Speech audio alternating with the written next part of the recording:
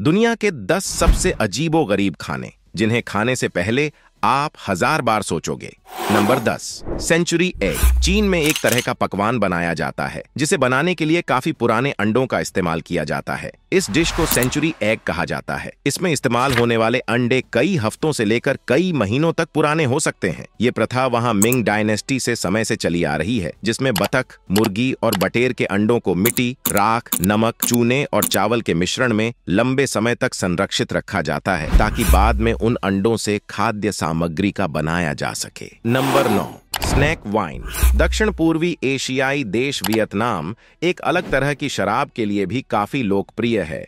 इस शराब को सांपों से तैयार किया जाता है और इसे स्नैक वाइन कहा जाता है। यह एक तरह की चावल की शराब होती है, जिसे जहरीले सांपों के साथ बोतल बंद किया जाता है। सांप के खून के कारण इस शराब को एक अच्छा गुलाबी जैसा रंग मिलता है और यह माना जाता है कि इसे पीने से काफ़ी औषधीय फ़ायदे मिलते हैं। इसे तैयार करने के लिए सांप को चावल की शराब में महीनों के लिए रख दिया जाता है, ताकि उनका जहर पूरी तरह से इस शराब में घुल जाए। शराब में मौजूद इथेनॉल विष को बेअसर कर देता है और इसी कारण इसे पीना खतरनाक नहीं होता। नंबर आठ, फ्राइड लोकस।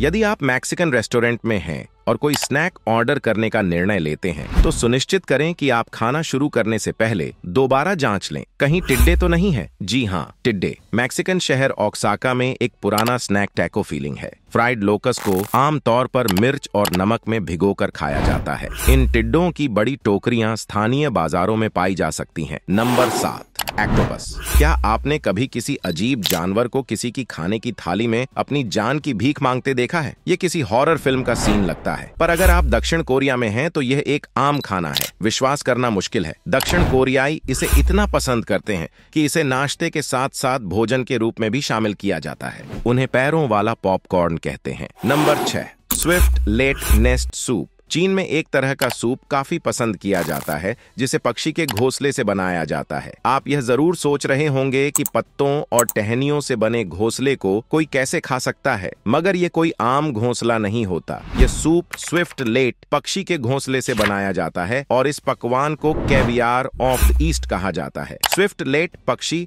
मुख्यतः लार से अपने घोंसले बनाते हैं। इस पक्षी की लार में कुछ ऐसे अनोखे तत्व मौजूद होते हैं, जो घोंसले को रबड़ जैसी बनावट देते हैं, और इसे मानव द्वारा उपभोग किए जाने वाले सबसे महँगे पशु उत्पादों में से एक बनाते हैं। नंबर पाँच, फ्राइड माइस। जब चूहे को किया जाए डीप फ्राई तो ऐसा कुछ भोजन आपके सामने होगा, तले हुए चूहे। जी हाँ चीन में काफ़ी लोगों की पसंद और जैसे हमारे यहाँ पकौड़ी को कहा जाता है, ठीक उसी तरह चीन में तले हुए चूहों को स्नैक समझकर खाया जाता है। अब चीन वाले तो है ही अजीब तो उनके लिए यह सब करना कोई खास बात नहीं। नंबर चार, यंग यांग फ़िश।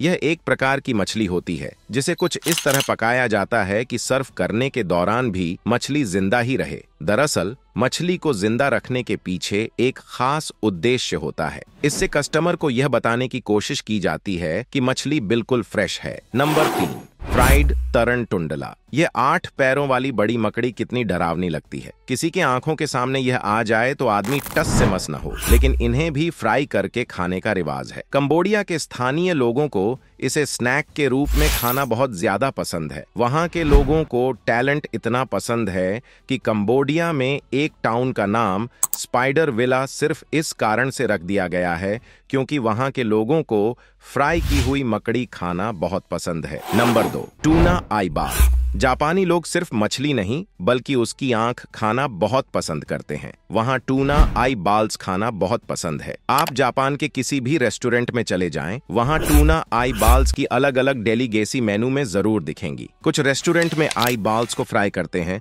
और कुछ लोग इसे सूप में डालकर खाते हैं। नंबर एक फ्राइड पेबल्स। चाइना में पत्थरों को फ्राई कर खाया जाता है। इस स्नैक का नाम है सीडियू। इस डिश में नदी किनारे पड़े चिकने पत्थरों को लहसुन, मिर्च और अन्य मसालों के साथ फ्राई किया जाता है। पर आपको पत्थर नहीं खाने पड़ते, बल्कि उन्हें चूस कर उनका स्वाद लेना होता है और फिर उसे छोड़ दिया जाता है। अब यहाँ तक वीडियो देख ली है तो फिर वीडियो को लाइक और शेयर करना बिल्कुल भी मत भूलना। धन्यवाद।